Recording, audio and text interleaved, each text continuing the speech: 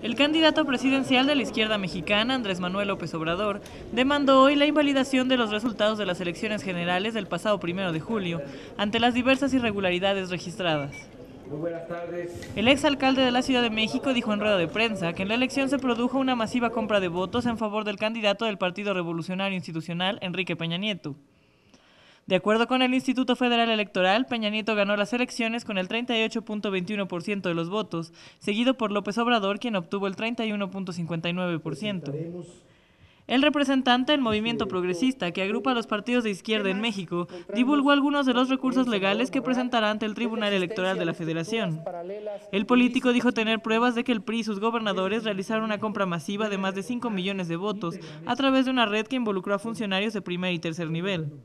Asimismo, Obrador reiteró que la defensa de la elección será siempre dentro del marco institucional. Que siempre actuaremos por la vía pacífica. No daremos ningún pretexto para que los violentos nos acusen de violentos.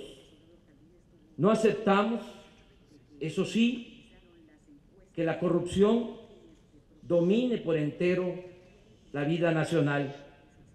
Lucharemos por el renacimiento moral de México. Finalmente, aseguró tener pruebas documentadas y con denuncia ante las autoridades de que hubo un rebase excesivo en el dinero usado por Peña Nieto durante su campaña presidencial. Corresponsales de Sinjua reportan desde Ciudad de México, México.